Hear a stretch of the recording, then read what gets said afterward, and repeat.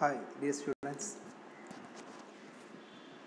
B എസിന്റെ next വീഡിയോക്ക് നമ്മൾ സ്റ്റാർട്ട് ചെയ്യണം. നമ്മൾ ഇതുവരെ ഡിസ്കസ് ചെയ്തുകൊണ്ടിരിക്കുന്നത് എം ഐ എസിന്റെ ടൈപ്സുകളാണ് ഒരുപാട് methods of M I S ആണ് നമ്മൾ പഠിച്ചുകൊണ്ടിരിക്കുന്നത്. നമ്മൾ കഴിഞ്ഞ ക്ലാസ്സുകളിൽ രണ്ട് ക്ലാസ്സിലും ഡിസ്കസ് ചെയ്തത് ട്രാൻസാക്ഷൻ പ്രോസസ്സിംഗ് സിസ്റ്റത്തെ പറ്റിയിട്ടായിരുന്നു. ഇന്ന് നമ്മൾ ഡിസ്കസ് ചെയ്യാൻ പോകുന്നത് എം ഐ എസിന്റെ വേറെ ഒരു മെത്തേഡാണ്. അതിന്റെ പേരാണ് D S S decision support system ആ പേരും തന്നെ നമുക്ക് മനസ്സിലാക്കാം. ഈ ഈ ഒരു സോഫ്റ്റ്വെയറിന്റെ പ്രത്യേകത എന്താണ്? ഡിസിഷനെ സപ്പോർട്ട് ചെയ്യാൻ വേണ്ടിയിട്ട് മാനേജ്മെന്റ് ലെവലിൽ ഡിസിഷനെ സപ്പോർട്ട് ചെയ്യുന്ന ഒരു സോഫ്റ്റ്വെയറാണ് സത്യത്തിന്. അല്ലെങ്കിൽ ഒരു മാനേജ്മെന്റ് ഇൻഫർമേഷൻ സിസ്റ്റമാണ് ഡി എസ് എസ് എന്ന് പറഞ്ഞിട്ടുണ്ടെങ്കിൽ. അപ്പോൾ അതിന്റെ മീനിങ്ങും ഡെഫിനേഷൻ നമ്മൾ ജസ്റ്റ് നോക്കാം. System that support decision is called decision support system simply D S S D S S എന്താണെന്ന് സിമ്പിളായിട്ട് പറയുകയാണെന്നുണ്ടെങ്കിൽ ഡിസിഷൻ മേക്കിങ്ങിനെ സപ്പോർട്ട് ചെയ്യുന്ന സിസ്റ്റത്തെ പറയുന്ന പേരാണെന്ത്? ഡി എസ് എസ് എന്ന് പറഞ്ഞിട്ടുണ്ടെങ്കിൽ it support the process of making decisions here emphasis is given to support rather than the automation of information system.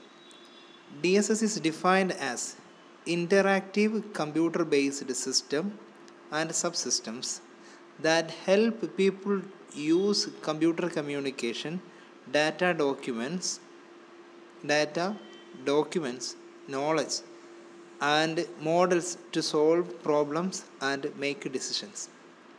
വളരെ സിമ്പിളായിട്ട് നമ്മുടെ ഡി എസ് എസിന്റെ ഡെഫിനേഷൻ പറഞ്ഞിട്ടുള്ളതാണിത് ഡി എസ് എസ് എന്ന് പറഞ്ഞിട്ടുണ്ടെങ്കിൽ കമ്പ്യൂട്ടർ ബേസ്ഡ് ആയിട്ടുള്ള ഒരു ഇന്ററാക്റ്റീവ് സിസ്റ്റമാണ് കമ്പ്യൂട്ടറും അതുപോലെ യൂസറും തമ്മിലുള്ള ഒരു ഇന്ററാക്റ്റീവ് സിസ്റ്റമാണ് ഡി എസ് എസ് എന്ന് പറഞ്ഞിട്ടുണ്ടെങ്കിൽ. അതിൽ ബേസിക് സിസ്റ്റമുണ്ട് അതേമാതിരി നമ്മളെ കമ്പനിയിലുള്ള എല്ലാ സബ് സിസ്റ്റങ്ങളും പരസ്പരം ഇന്റർ കണക്റ്റഡ് ആണ്. അതിലുള്ള കമ്പ്യൂട്ടർ കമ്മ്യൂണിക്കേഷൻസും ഡാറ്റകളും ഇൻഫർമേഷനും ഡോക്യുമെൻസും നോളജും എല്ലാം കൂടി ഒന്നിച്ചെടുത്തിട്ട് നമ്മളെ കമ്പനിയിലേക്ക് എന്തെങ്കിലും പ്രോബ്ലമോ അങ്ങനെ എന്തോ ഉണ്ടെങ്കിൽ അതായത് പ്രോബ്ലം സോൾവിങ്ങിനോ അതല്ലെങ്കിൽ പുതിയ ഡിസിഷൻസ് എടുക്കാനോ വേണ്ടിയിട്ട് ഹെൽപ്പ് ചെയ്യുന്ന ഒരു സോഫ്റ്റ്വെയർ ആണ് സത്യത്തിൽ എന്ത്? ഡി എസ് എസ് എന്ന് പറഞ്ഞിട്ടുണ്ടെങ്കിൽ. A decision support system can be defined as a system that provide information for making semi structured and unstructured decisions ഇത് പറയുമ്പോൾ ഞാൻ ഒരു രണ്ട് മൂന്ന് ക്ലാസ് മുന്നേ പറഞ്ഞിട്ടുള്ള ഒരു പിരമിഡ് നിങ്ങൾക്ക് ഓർമ്മ വരണം. ആ പിരമിഡിൽ നമ്മൾ മാനേജ്മെന്റിനെ മൂന്ന് ലെവലായിട്ട് തിരിച്ചിട്ടുണ്ട്. Top level middle level lower level അതിൽ ടോപ്പ് ലെവലിൽ അതേപോലെ മിഡിൽ ലെവലിൽ അവരെടുക്കുന്ന ഡിസിഷൻസ് എന്ന് പറഞ്ഞിട്ടുണ്ടെങ്കിൽ അൺസ്ട്രക്ചേർഡും അതുപോലെ സെമി സ്ട്രക്ചേർഡും ആയിട്ടുള്ള ഡിസിഷൻസാണ് ടോപ്പ് ലെവലും മിഡിൽ ലെവലും എടുക്കൽ എന്നാൽ ലോവർ ലെവലിൽ എടുക്കുന്ന ഡിസിഷൻസ് സ്ട്രക്ചേർഡ് ആയിട്ടുള്ള ഡിസിഷൻസ് ആയിരിക്കും. അതായത് അവർക്ക് വല്ലാതെ ആലോചിക്കാനൊന്നുമില്ല. കറക്റ്റായിട്ട് എങ്ങനെ പ്രോപ്പറായിട്ട് എന്താ ചെയ്യുക എന്നുള്ളത് വ്യക്തമായ നോളജിന്റെ ബേസിലായിരിക്കും അവരെടുക്കുക അപ്പോൾ അതുകൊണ്ടാണ് അവർക്ക് സ്ട്രക്ചേർഡ് ആയിട്ടുള്ള ഡിസിഷൻസ് എടുക്കുന്നത്. സ്ട്രക്ചേർഡ് ഡിസിഷൻ മേക്കിങ്ങിന് ഹെൽപ്പ് ചെയ്യുന്ന എം ഐ എസ് ആണ് ടി പി എസ് നമ്മൾ കഴിഞ്ഞ ക്ലാസ്സിൽ ഡിസ്കസ് ചെയ്ത്. ഇന്ന് നമ്മൾ പറയാൻ പോകുന്നത് മിഡിൽ ലെവലും ടോപ്പ് ലെവലും ഉപയോഗിക്കുന്ന സെമി സ്ട്രക്ചേർഡും അതേപോലെ അൺസ്ട്രക്ചേർഡുമായിട്ടുള്ള ഡിസിഷന് സപ്പോർട്ട് ചെയ്യുന്ന ഒരു സിസ്റ്റമാണ് എന്ത്? ഡി എസ് എസ് എന്ന് പറഞ്ഞിട്ടുണ്ടെങ്കിൽ. നെക്സ്റ്റ് നമുക്കൊരു ഡിഫ് ഡെഫിനിഷൻ നോക്കാം. Laudon and Laudon defines S A distance support system is a computer system at the management level of an organization that combines data, sophisticated analytical tools, and used user-friendly software to support semi-structured and unstructured distance. Laudon and ലോഡന്റെ അഭിപ്രായ പ്രകാരം D S S എന്ന് പറഞ്ഞിട്ടുണ്ടെങ്കിൽ semi സ്ട്രക്ചേർഡും അൺസ്ട്രക്ചേർഡുമായിട്ടുള്ള അതായത് middle ലെവലിലും higher ലെവലിലും എടുക്കുന്ന ഡിസിഷനെ support ചെയ്യുന്ന ഒരു സിസ്റ്റമാണെന്ത് D S S എന്ന് പറഞ്ഞിട്ടുണ്ടെങ്കിൽ. അപ്പോൾ ആ ഡി എസ് എസിനെ അതാണ് അയാൾ ഡിഫ ഡിഫൈൻ ചെയ്തത്. ഇനി നമ്മൾ നെക്സ്റ്റ് നോക്കാൻ പോകുന്നത് characteristics of D S S ആണ്. Characteristics and capabilities of D S S ഒന്നാമത്തെ ഡി എസ് എസിന്റെ ക്യാരക്ടറിസ്റ്റിക്സ് പറഞ്ഞിട്ടുണ്ടെങ്കിൽ facilitation S facilitate and support specific decision activities and or decision process D S S are designed specifically to facilitate decision process decision മേക്കിങ്ങിനെ facilitate ചെയ്യുക എന്നുള്ളതാണ് ഇതിന്റെ first പ്രത്യേകത ആയിട്ട് പറയുന്നത്. രണ്ടാമത്തെ പ്രത്യേകത supporting ക്യാരക്ടറിസ്റ്റിക്സ് ആണ് രണ്ടാമത്തെ ക്യാരക്ടറിസ്റ്റിക്സ് ആണ് സപ്പോർട്ടിങ് സപ്പോർട്ടിങ് എന്ന് പറഞ്ഞിട്ടുണ്ടെങ്കിൽ D S S only support decision makers at any level of organisation D S S should support rather than automated decisions. They are not intended to replace decision makers. The manager's experience and judgment cannot be replaced by this new system. സിമ്പിളായിട്ട് പറയുകയാണെന്നുണ്ടെങ്കിൽ ഒരു D S S system എന്ന് പറഞ്ഞിട്ടുണ്ടെങ്കിൽ അവർ decision മേക്കിങ്ങിനെ support മാത്രമാണ് ചെയ്യുന്നത്. Human ഫാക്ടറിന് decision മേക്കിങ്ങിൽ ഒരിക്കലും avoid ചെയ്യാൻ കഴിയില്ല.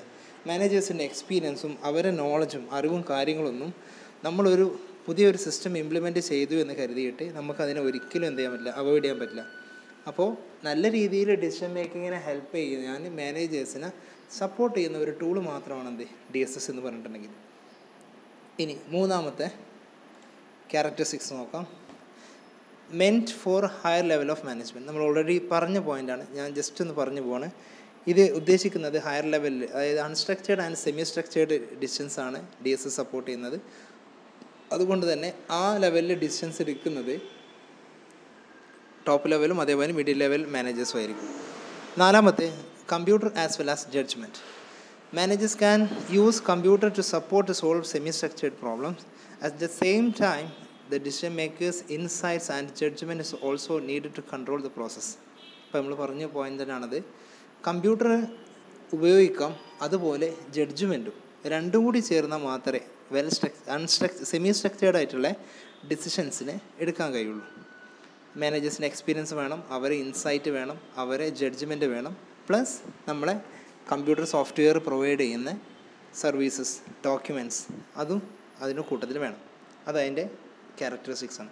നെക്സ്റ്റ് വരുന്ന interaction D S S are computer based system design for interactive use of decision makers who control the sequence of interaction and the operation performed problems are solved in an interactive mode between computer system and user യൂസറും കമ്പ്യൂട്ടറും കൂടി ചേർന്നിട്ട് രണ്ടുപേരും കൂടിയും ഒന്നിച്ചിരുന്നിട്ട് നേരത്തെ പറഞ്ഞ പോലെ intellectual property intellectual നമ്മൾ ബുദ്ധിപരമായിട്ടുള്ള കാര്യം വേണം അതേമാതിരി കമ്പ്യൂട്ടറിന്റെ കഴിവുകളും വേണം. രണ്ടും കൂടി ചേർന്നിട്ടാണ് സത്യത്തിൽ എന്ത്? D S S decision making എടുക്കുക. നെക്സ്റ്റ് വരുന്നത് task oriented D S S provide a specific capability that support one or more task related to decision making including intelligence and data analysis identification and design of alternatives choice among alternatives and decision implementation എന്തെങ്കിലും ഒരു ടാസ്കിന്റെ ബേസിലാണ് task oriented ആണ് D S S work ചെയ്യുക next വരുന്ന repeated use D S എസിന് വേണമെന്നുണ്ടെങ്കിൽ നമുക്ക് എന്ത് ചെയ്യാം? വീണ്ടും വീണ്ടും ഉപയോഗിക്കാൻ പറ്റും. D S S may use routinely or used need ad hoc decisions support system എപ്പോൾ വേണമെങ്കിലും ഏത് സമയത്ത് ഡിസിഷൻ എടുക്കാൻ വേണ്ടിയിട്ടും ഡി എസ് എസിനെ നമ്മൾ ആശ്രയിക്കാവുന്നതാണ്. നെക്സ്റ്റ് വരുന്നത് identifiable D S S may be independent system that collect and replicate data from other information system or sub system of a large or more integrated information system ഒരുപാട് integrated സിസ്റ്റത്തിന്റെ ഒരു identifiable അതായത് നമുക്ക് എവിടെ നിന്നാണ് system കിട്ടിയതെന്നുള്ളതും എവിടെ നിന്നാണ് ആ ഇൻഫർമേഷൻ കിട്ടിയതെന്നുള്ളതും ഏത് സമയത്ത് വേണമെങ്കിൽ നമുക്ക് ഒരു ട്രസ്റ്റ് ചെയ്യാൻ പറ്റിയിട്ടുള്ള ഒരു സോഴ്സ് ആയിരിക്കും ഡി എസ് എസ് എന്ന് പറഞ്ഞിട്ടുണ്ടെങ്കിൽ. നെക്സ്റ്റ് വരുന്നത് quick response D should able to respond quickly to the changing need of decision maker decision മേക്കർക്ക് എപ്പോഴാണോ എന്തൊക്കെയാണോ ആവശ്യമുള്ളത് അത് വളരെ പെട്ടെന്ന് തന്നെ ക്വിക്കായിട്ട് റെസ്പോണ്ട് ചെയ്യാൻ ഡി എസ് എസിനെ കൊണ്ട് സാധിക്കും. അടുത്ത ക്യാരക്ടറിസ്റ്റിക്സ് ആണ് technology the technology used for decision D S S depends on degree of flexibility required on decision making for example a small micro computer will sufficient to operate DSS than installing a big data processing system വളരെ സിമ്പിളായിട്ടുള്ള technology use ചെയ്തുകൊണ്ട് D S എസിന് നമുക്ക് വളരെ എളുപ്പത്തിൽ work ചെയ്യിപ്പിക്കാൻ പറ്റും. അതിന് വേണ്ടിയിട്ട് വളരെ എസ്റ്റാബ്ലിഷ്ഡ് ആയിട്ടുള്ള ഒരുപാട് ഡാറ്റ പ്രോസസ്സിങ് ഹ്യൂജ് സിസ്റ്റത്തിനൊന്നും ആവശ്യമില്ല. ടെക്നോളജി മാക്സിമം എഫിഷ്യന്റായിട്ട് നല്ല രീതിയിൽ ഉപയോഗിക്കാൻ പറ്റും.